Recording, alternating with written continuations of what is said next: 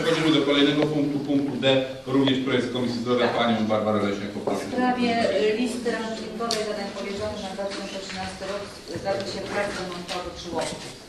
Paragraf pierwszy. Ustala się listę rankingową zadań powierzonych na rok 2013 w zakresie prac remontowych żłobków. Y, Punkt pierwszy. Integracyjny żłobek samorządowy nr 20 Kruszowy Miś.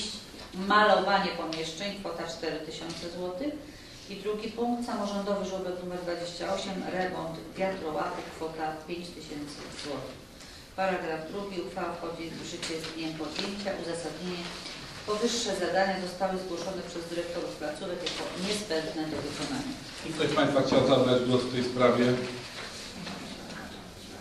Nie widzę. Wobec powyższego poddaję pod głosowanie. Kto jest za przyjęciem?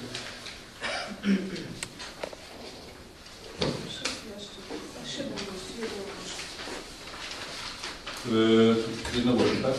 Yy, Dziękuję bardzo. Stwierdzam, że Rada przyjęła jednogłośnie projekt Komisji Zdrowia, projekt D.